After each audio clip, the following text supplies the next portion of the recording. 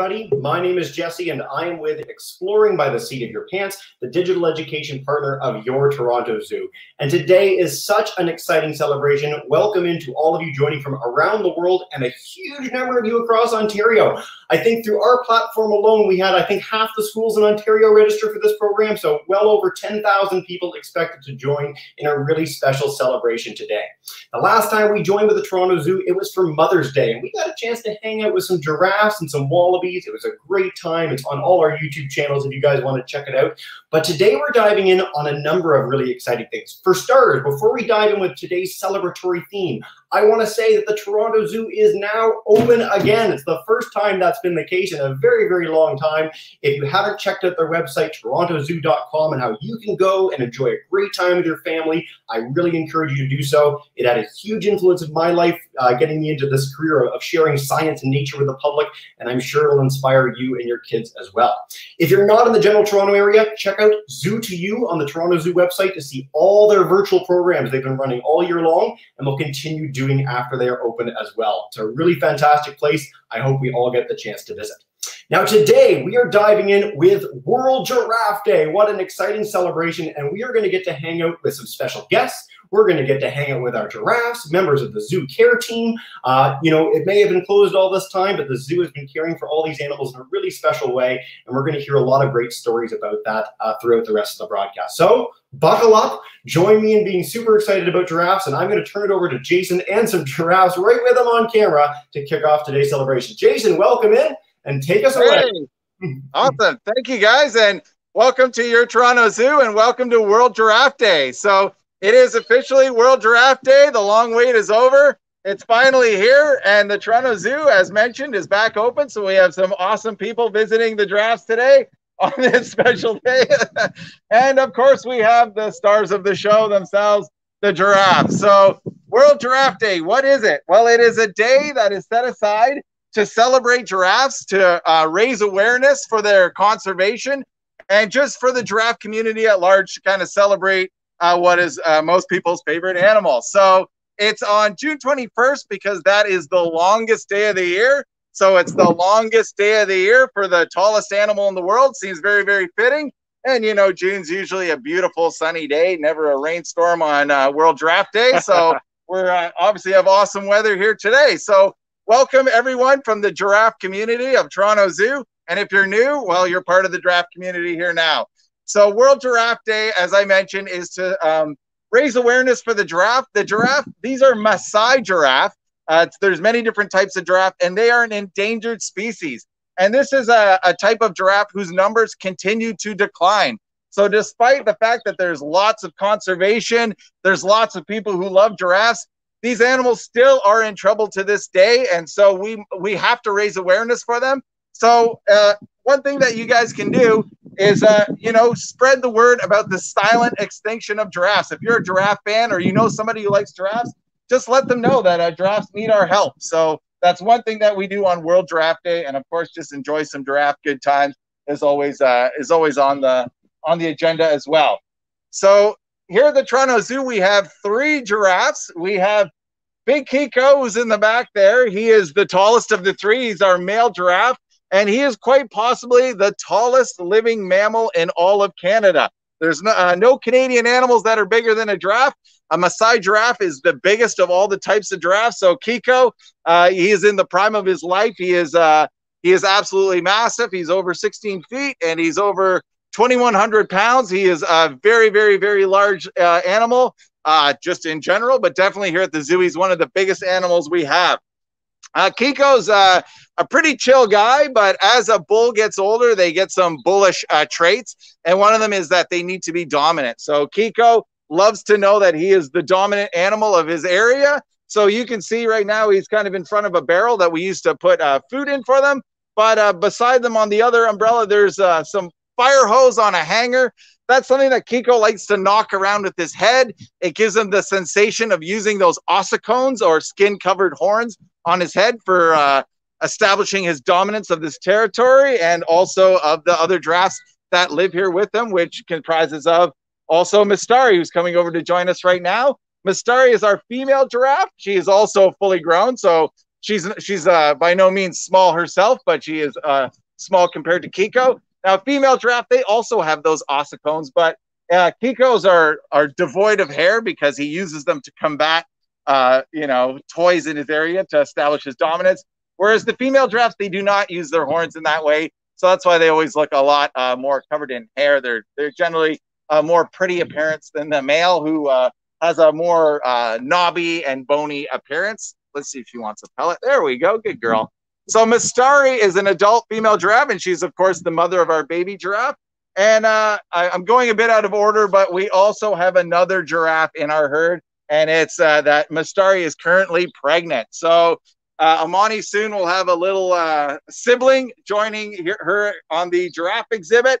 So Mistari, um, Kiko and Mistari, of course, are a very, very important genetic match. Mistari is the number one most genetically uh, important female giraffe in the North American population.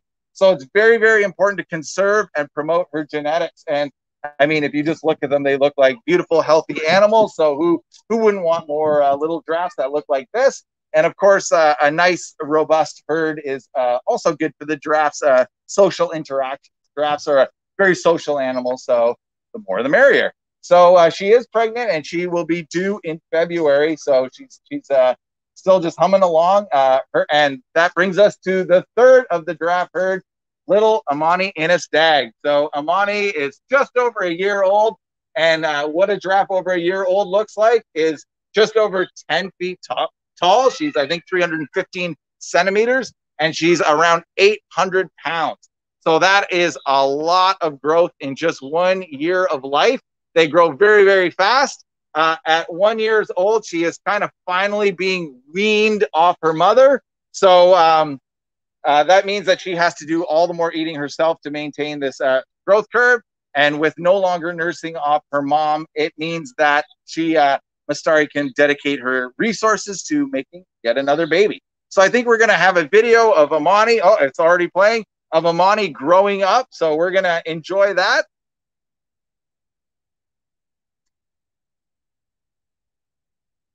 All right. So I hope you enjoyed the first year of Amani's life.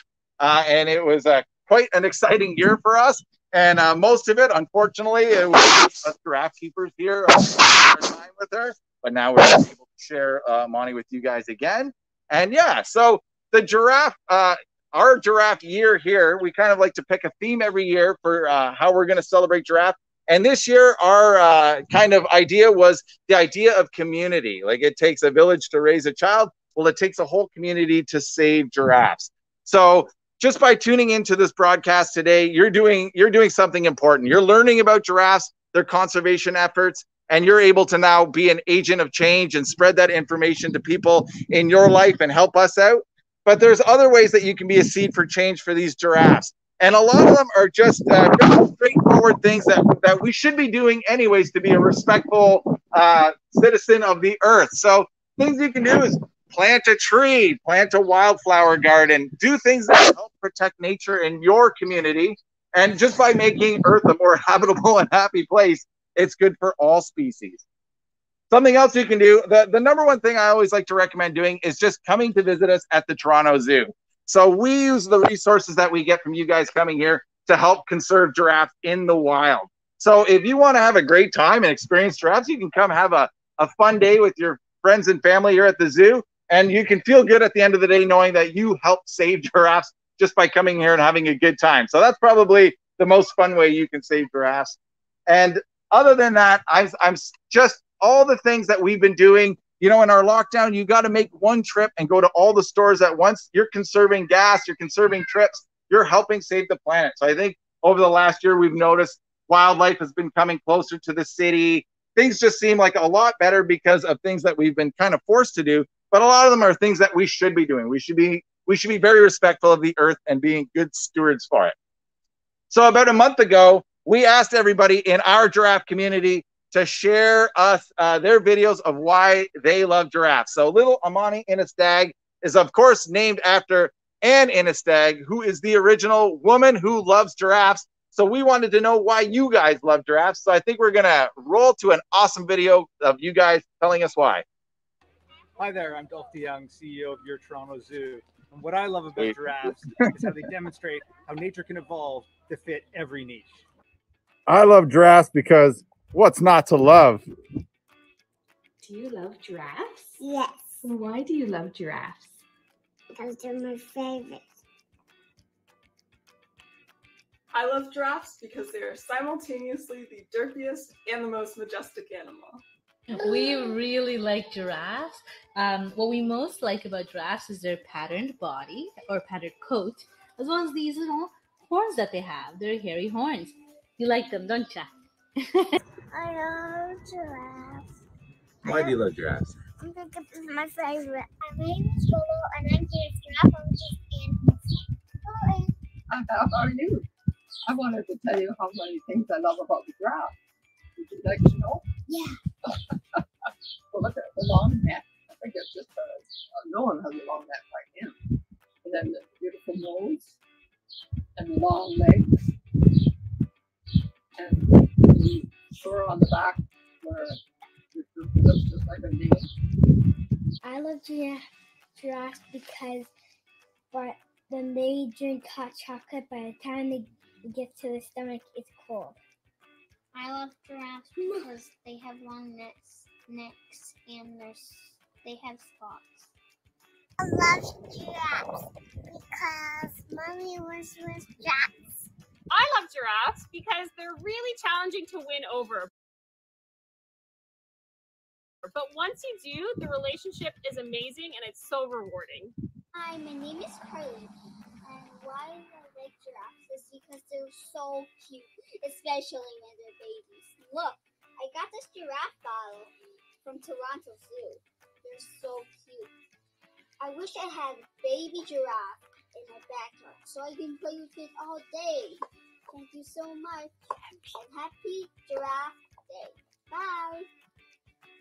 Is there anything you like that's best? I like the pattern.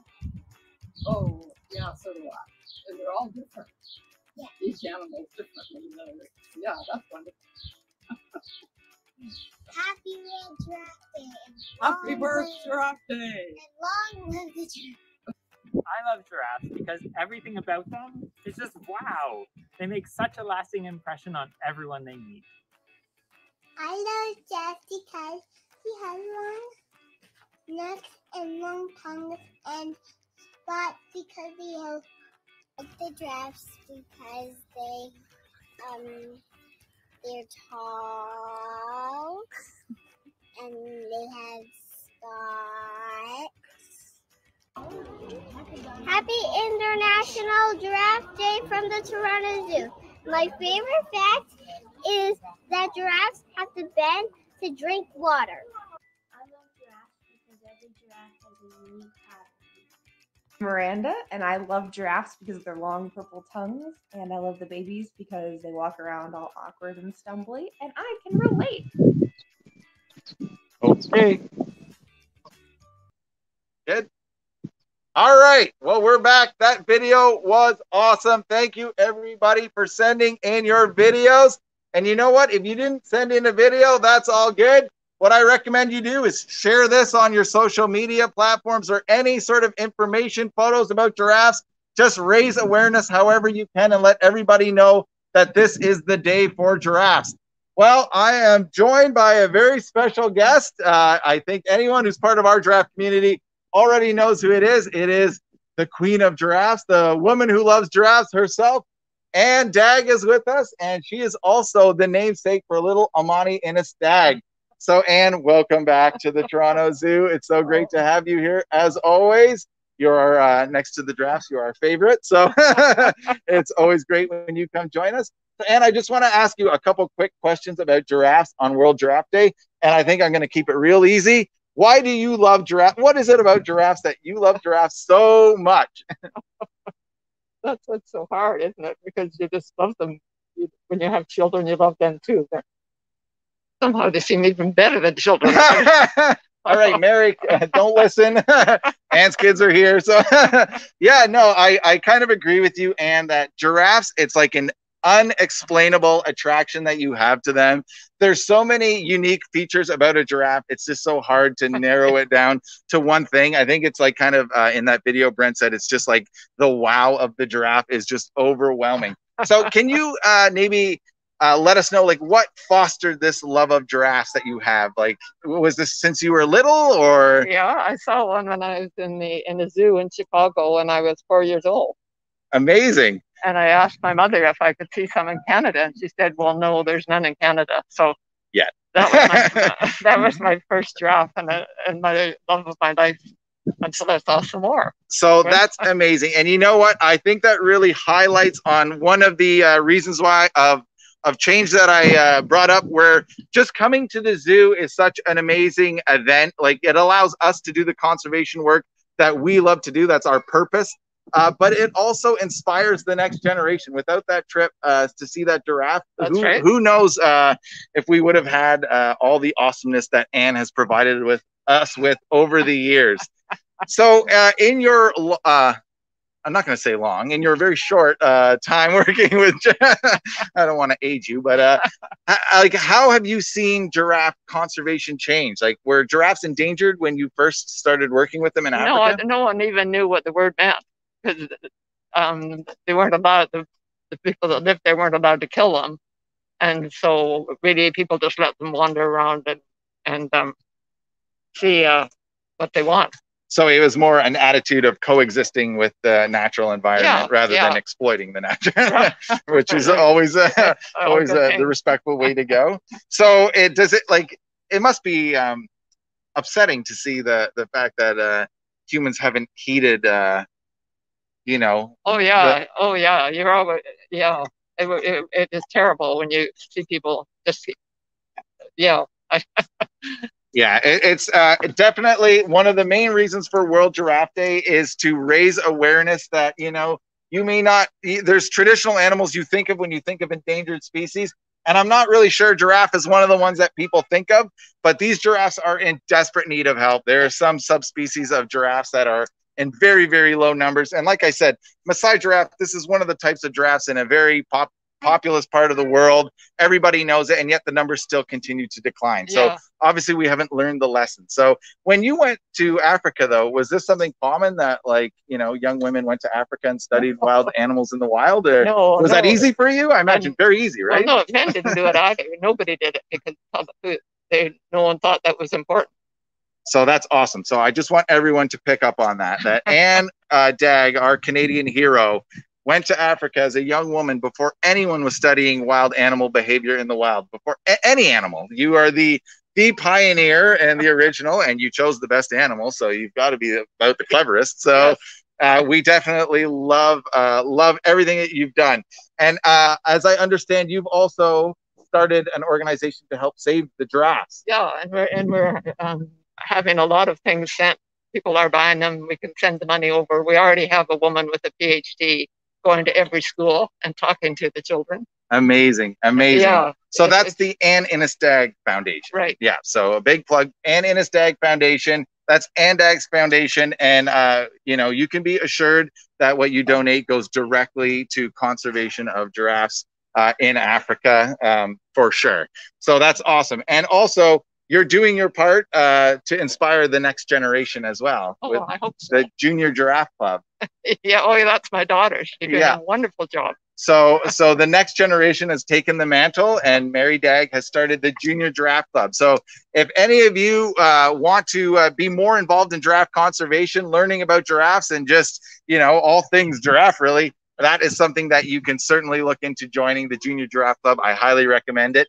Uh, yeah, it's just another awesome way to help save giraffes. So, I think we have a video even from the Junior Giraffe Club. So, why don't we throw to that right now?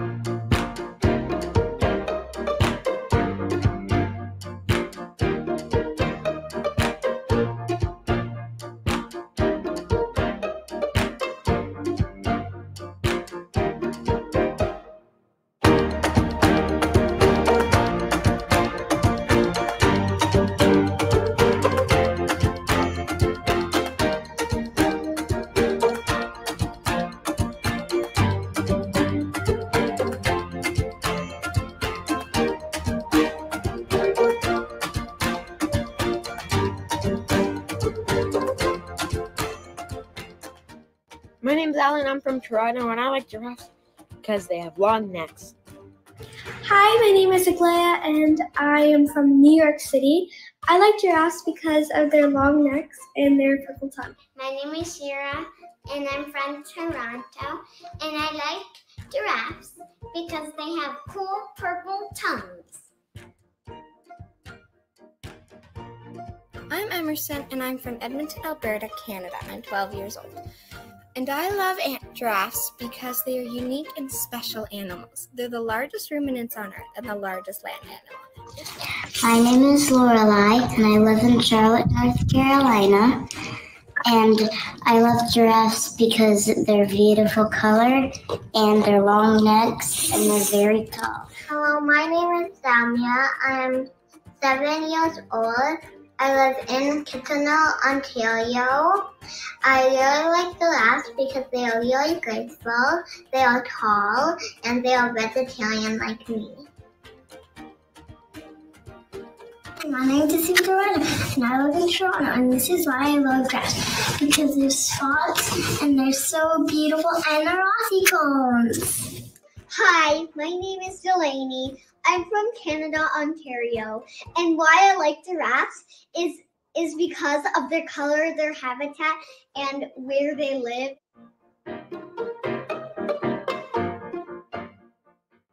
Hi, my name is Callie. I'm 10 years old and I live in Washington, D.C.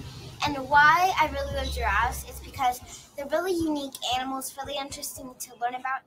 Hello, my name is Rebecca and I am from Ontario, Canada. And I love giraffes because they're unlike any other animal I've seen before.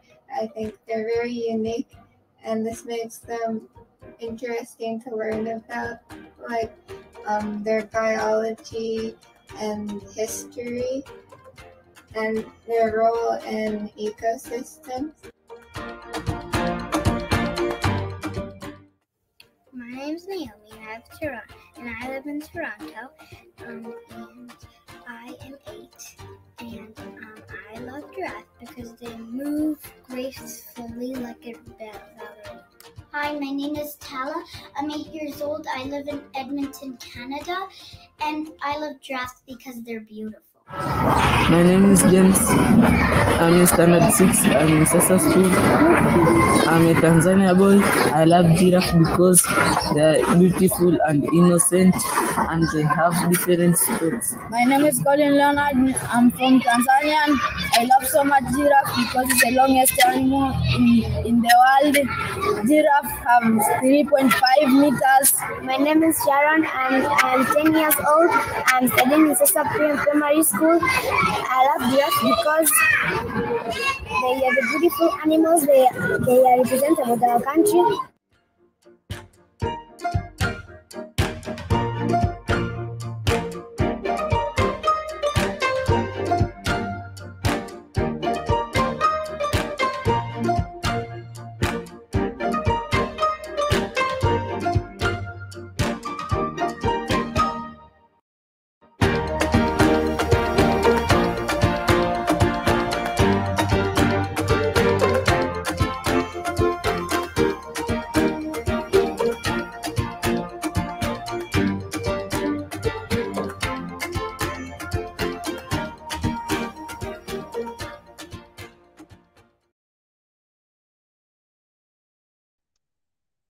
Awesome. So that was amazing. It's awesome to see that the next generation is already starting at a better place than my generation was for sure to help these animals. I didn't even know half of these animals were endangered when I was growing up. So it's just awesome to see that although I've been telling you that these guys are in danger, the numbers are going down, and that is true. It's amazing to see that the next generation has taken this challenge seriously and they're going to do their part to help correct uh, what we have done. So that is certainly amazing and very, very inspiring.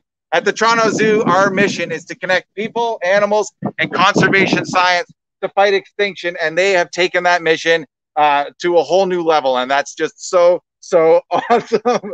so, yeah, that's very, very good. So, I want to reiterate that here at the Toronto Zoo, our mission is conservation.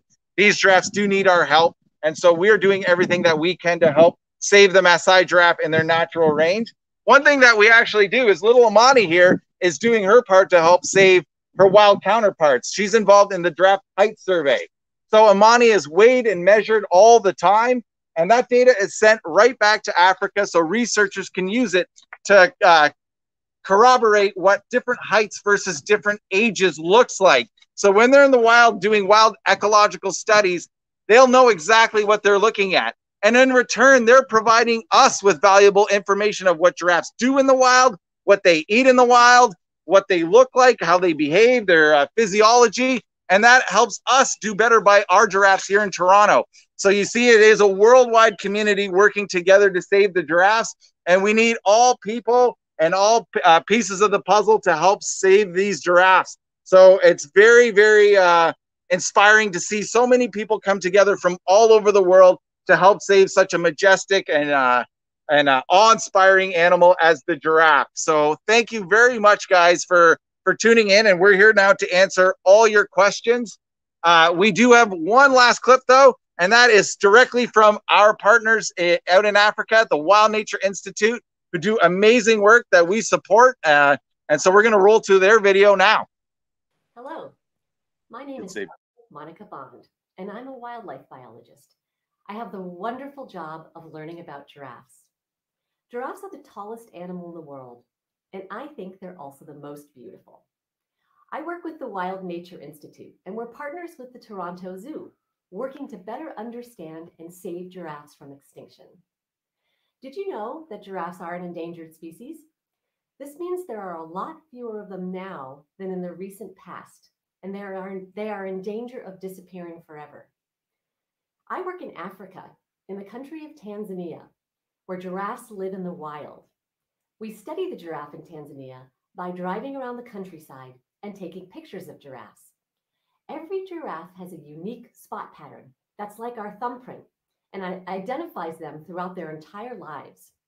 We monitor more than 3,000 giraffes throughout the year by this non invasive method, so the giraffes go on living their lives completely undisturbed by our research. Using our photographic monitoring, we're learning about the giraffe's survival, reproduction, movements, and behavior, so we can know where giraffes are doing well, where they're not, and why. Then we can work to protect and connect the areas that are most important to giraffes.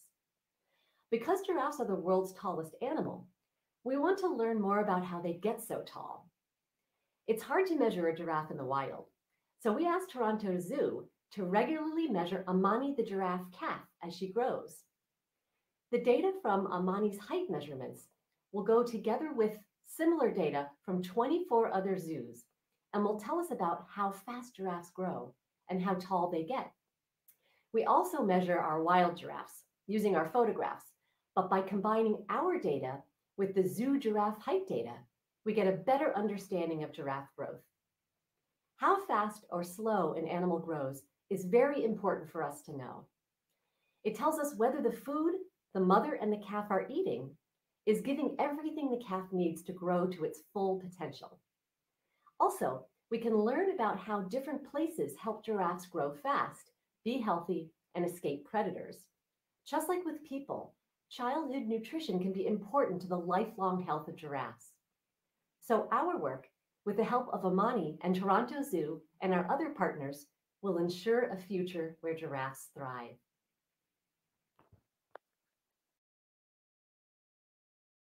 Good.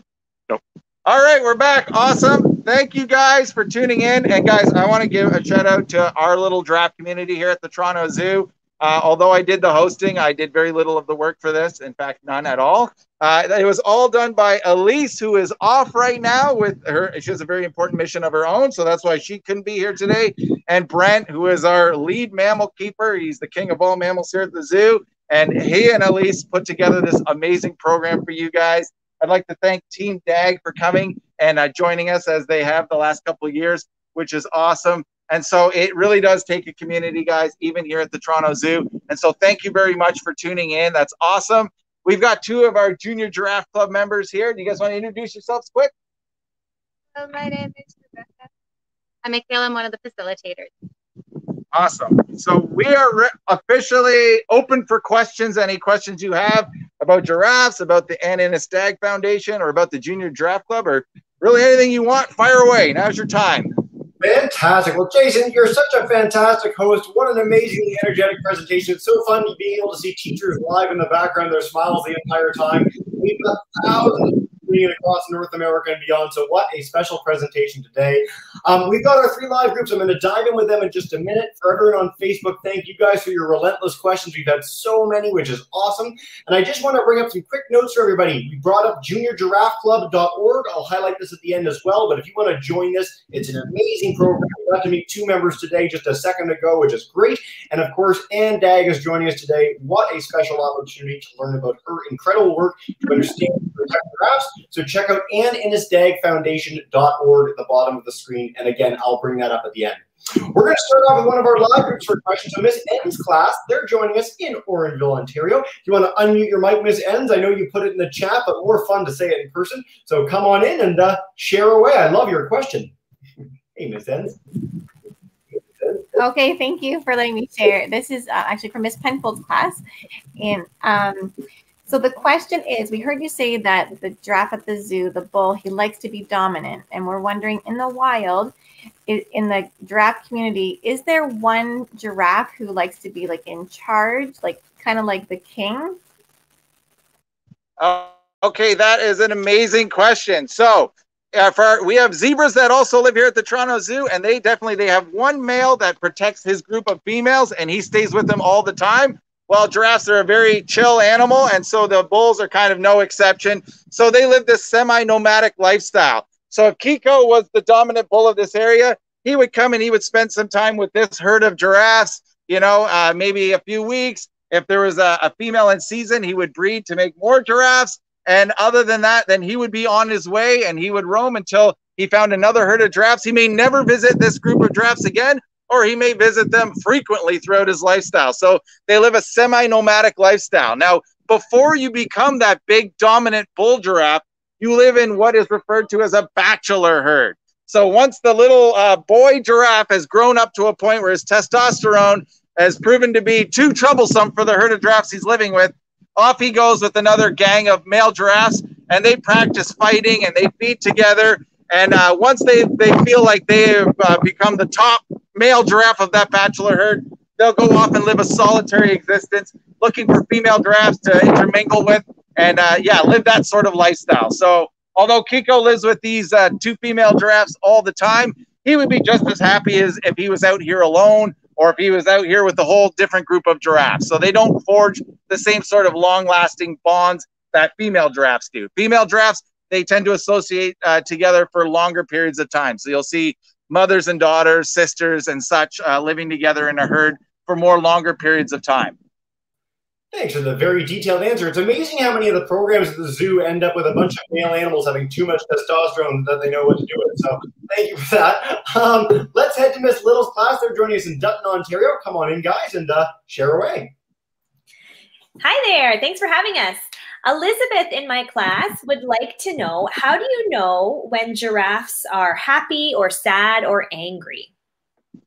Okay, that is an amazing question. So, giraffes are very famous for one thing. Well, not for one thing, but there is one thing that giraffes are very famous for, and that's being silent.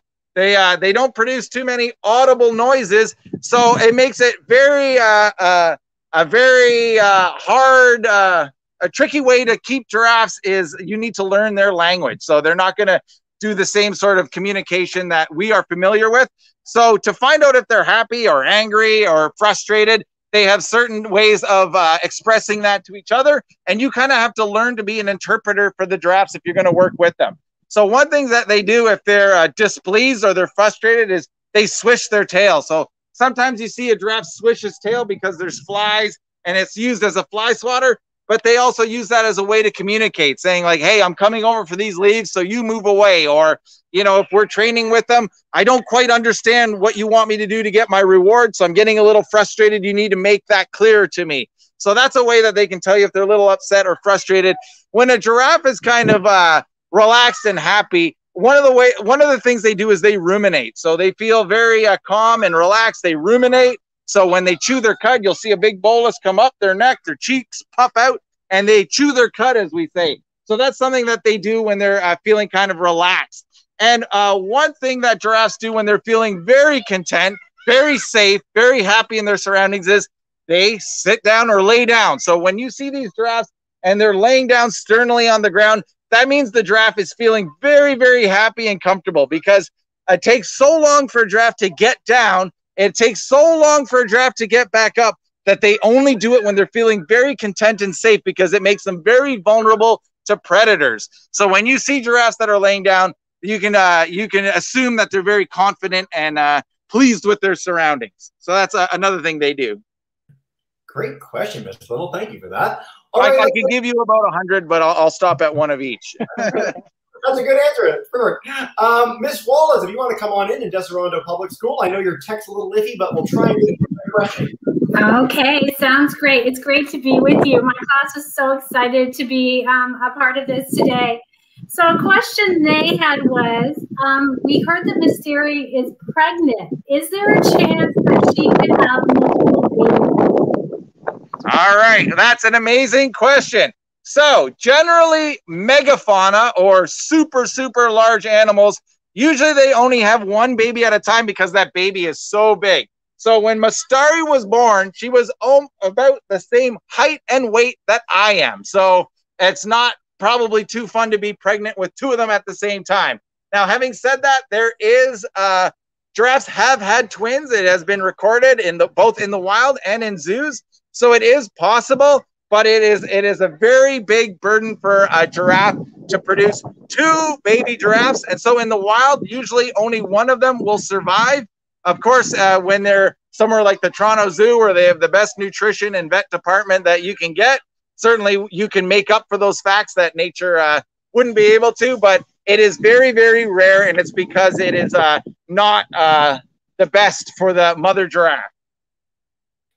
Fantastic, guys. All right, we're going to head to Facebook. There's so many of you sharing questions. I just want to stress, I didn't get a chance to say this at the end, that of all the kids' answers, I love the idea that hot chocolate gets cold by the time it gets to their stomach. That was truly amazing. So thank you to that family for, for sharing that. Um, Miss Tobin's class has been asking a whole bunch of questions on Facebook, so welcome to you guys. And Nushin in that class wants to know if they're with other animals like horses. So who are giraffes related to, Jason?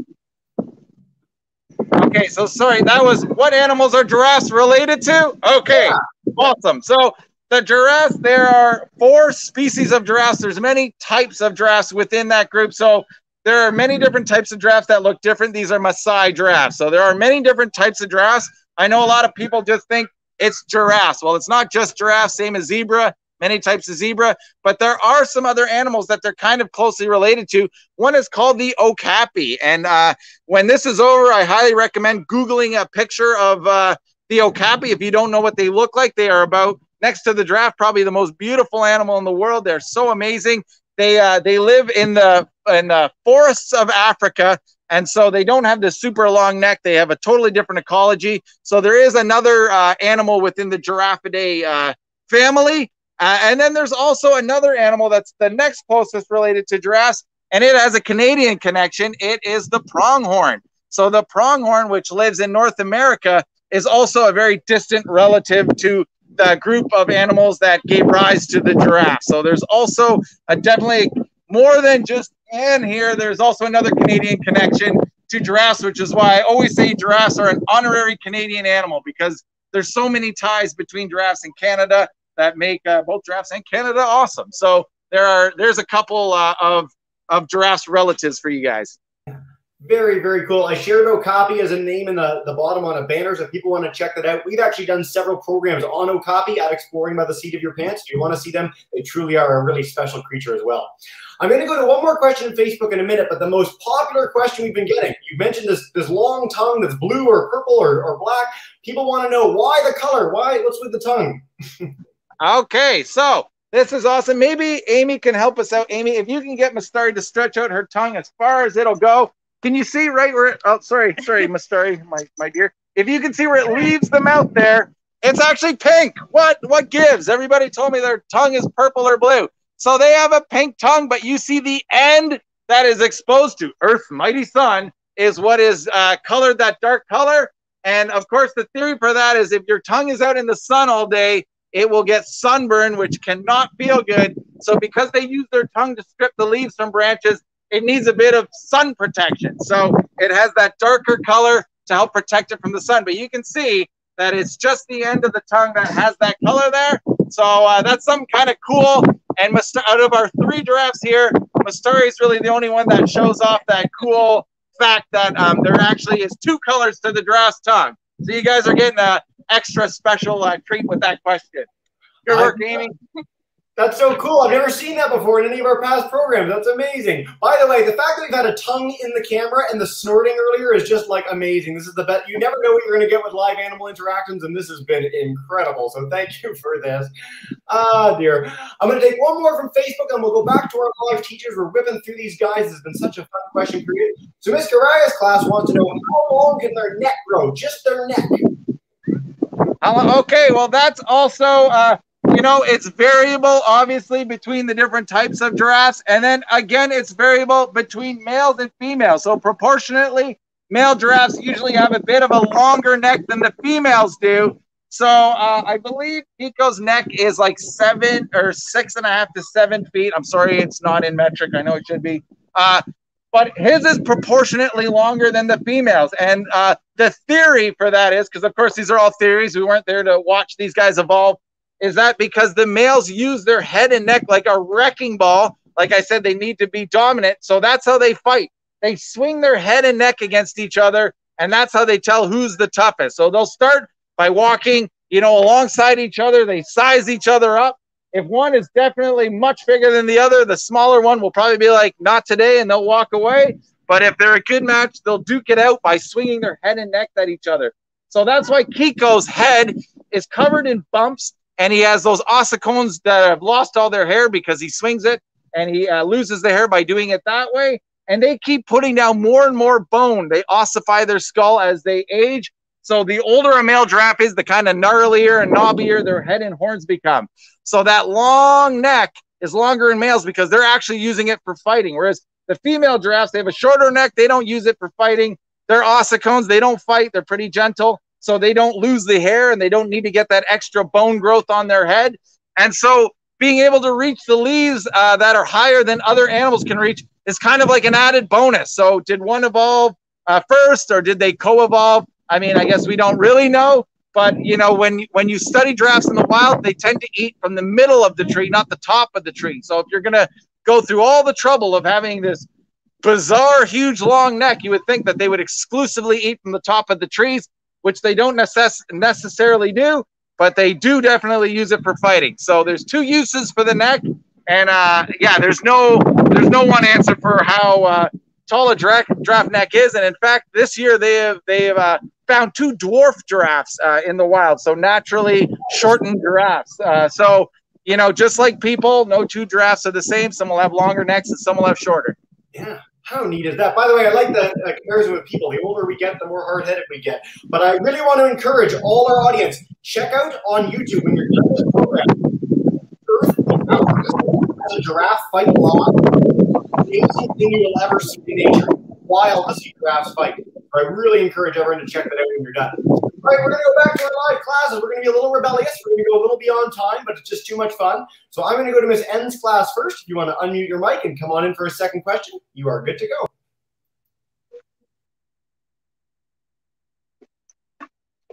Oh, just the mute button on the bottom of your screen. It's not working. I can come back in a minute if you'd like. I'll come back in two seconds, okay? Just press the mute button at the bottom. It's okay if it's off for now. Phil, you want to come in? Go for it. Sure. Harper in my class would like to know uh, how do you take care of the giraffes at the zoo? What do you have to do to take care of them? Fantastic question. And uh, yeah, so as I mentioned before, probably one of the most important things you need to do is decipher their language. If you do not know how to speak to the animal you're in charge of taking care of, you're not going to have a very good go. And uh, no two animals are the same. And giraffes are very, very hard to read. Uh, you need to know their body language and exactly what they're saying and how to communicate what you want to them. So one thing we do is we need to train them to to actually volunteer and want to participate in their own care. Kiko's over 2,000 pounds. What do you think we're going to be able to force a big guy like that to do? Nothing. So if he doesn't want to work with you, if he doesn't trust you and uh, uh, understand that we're working together, uh, you're not going to get too far. So you have to be able to train these animals to participate in their own care. So, I mean, of course, you have to clean uh, up everything that they leave for you uh, over the course of a day, and you need to put out lots of branches. So here at the zoo, it means we need to have a, a tree farm where we farm a bunch of trees that we're able to cut down to feed animals like the giraffes. We need to preserve it because obviously uh, here in Canada, leaves are hard to find outside. So we preserve it so we have just the same amount of, of beautiful leaves to feed these animals in the winter as we do in the summer. But we also spend a lot of time working with these animals to participate in their own care. So little Amani, she's a year old. She already knows to put her feet on hoof trimming blocks, and we're able to give her hoof trims. She will volunteer her neck for us to uh, be able to get a blood sample to submit to the to the vet team if we ever need to. Uh, we've trained them for uh, oral swabs. We're actually uh, with our nutrition department working on a nutrition study to help uh, establish the best uh, nutritional health we can for these guys. So we need to do an actual swab of their mouth. Uh, I mean, I, I that one's kind of a gimme because saliva is not hard to come by on a giraffe. But yeah, there is a lot of of just spending time with the giraffe, getting their trust, letting them know you're here to work with them for their best care. So that's probably I'd say the number one thing for working with the draft, understanding them and working with them. Yeah. What I've never heard of the tree forest before. That is super, super cool. And it really, everything you mentioned speaks to the fact that zoos have become the world leaders in conservation. Uh, great zoos and aquariums around the world, of course, exemplified today by the Toronto Zoo, really do an amazing job to understand uh, and help protect animals worldwide. So do check them out. Head to your local zoo when you can if you're if you're not tuning into the Toronto area. Uh, they're such special places with really amazing creatures like our friend Mistari here. Um, let's go back to Miss Enns. You got the mic working, which is awesome, and then we'll wrap up with Miss Wallace in just a minute. Hi, Miss Enns. Hi. Sorry, that, that was a wonderful presentation. We really appreciate it. I just wanted to say goodbye and thank you for everything. But we didn't have another question.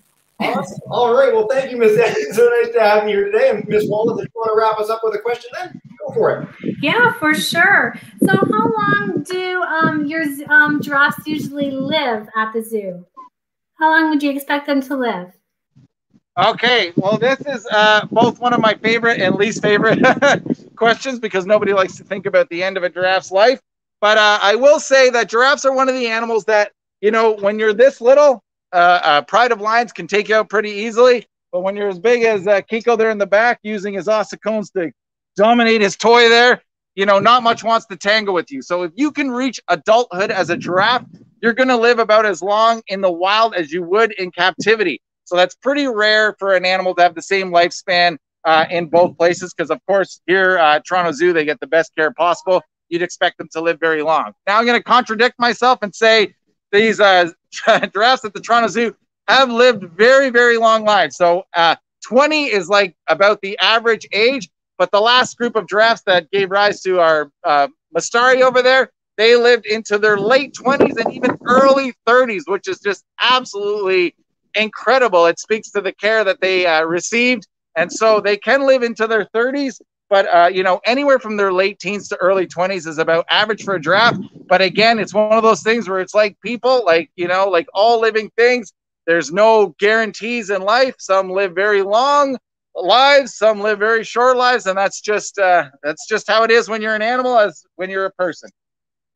I love those questions. And again, you mentioned that it speaks to the amazing care that these animals receive at the zoo. Uh, something that you guys can check out. We featured in a lot of broadcasts in the past is the AZA or CAZA in Canada, uh, where you can see that the, the zoo or aquariums have the highest standard of animal care. And what you quite often find in those places is that animals live really long, really healthy, happy lives, uh, like our amazing giraffes here. So Jason, this has been so, so much fun. Before we wrap up, I want to bring up a, a few more links for everyone to check out.